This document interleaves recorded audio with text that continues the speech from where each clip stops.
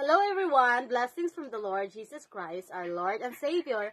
I am Michelle Agahit from Bugos City, Cebu, and beside me is my 8-year-old daughter, Charis Filea. Hi, I am a grade 3 student. When I heard and learned about the Prayer Covenant Discipleship for Children last May 2021 from Ate Carol through Zoom meeting, I was excited to use it, but at the same time, I was worried about when can I use it for the children because at the time I was 8 months pregnant and had all the hormonal changes and morning sicknesses and had a 2-year-old daughter to take care too. I was anxious and how, about how to manage the time and how to cater the kids with my situation. I prayed to the Lord for strength, wisdom, and guidance. The Lord led me to start with my two daughter and in our Sunday school class, which has seven kids. I was impressed by how the kids respond to what they learn. We joined the National Prayer Care Share for Kids, and they understand and memorize the meaning of the four symbols, the heart, divide, cross, and question mark. I asked my daughter Charis if she could share this too to her classmates in school. I did not force her, but prayed for God to use her. One day, when she went home, smiled so wide from school, she told me that she shared the good news about Jesus to her grade 2 classmates. The teacher answered wow and they were impressed about what she shared using the symbols. I praise the Lord for giving her the heart of an evangelist. Then, when she was in her earlier months of grade 3, she drew big the four symbols in their blackboard.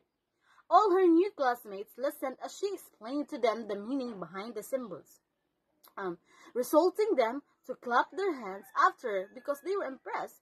Second time also, she presented the Creation to Christ hand motions during their Christmas party program. It was attended by her classmates and their parents. Charis was able to present also the gospel using the hand motions during the Thanksgiving party of where his father worked last November 30, 2022.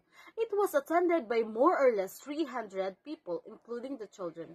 All this moment happened because God made it happen. What God planted in my daughter's heart of what she learned from our prayer discipleship, He made it grow and used it also to plant the gospel to the other children's life and even adults. I feel so blessed of how the Lord orchestrated everything. It was when we felt we are incapable, is when the Lord's hands becomes even more powerful. In our limitations, He is limitless. Truly, the kingdom of God belongs to the children and to those who have a faith like them. In the beginning, God created the perfect world. Sin broke God's perfect world. The penalty for sin is death. God's Son Jesus paid sin's penalty. Jesus was the only perfect man. Jesus died. Jesus was buried. Jesus rose from death to life because Jesus died for your sins. Jesus now offers you the gift of eternal life. Would you like this gift? With faith, ask Jesus to be your Savior. Go tell everyone this good news.